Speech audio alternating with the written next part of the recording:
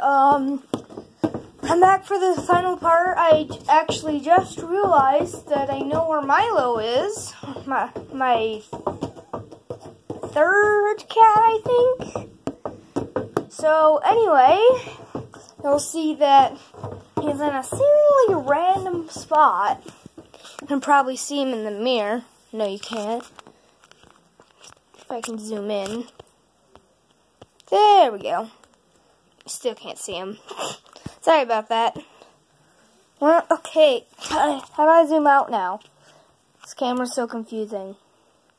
And that's why I'm not...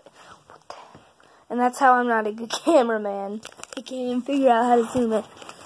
Hello, say hi. Hello.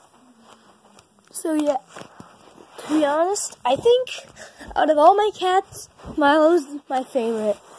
He comes and sleeps with me at night. He's so funny.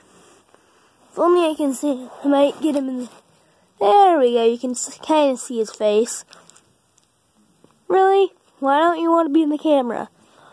Okay, so yeah, that about wraps it up for all my pets.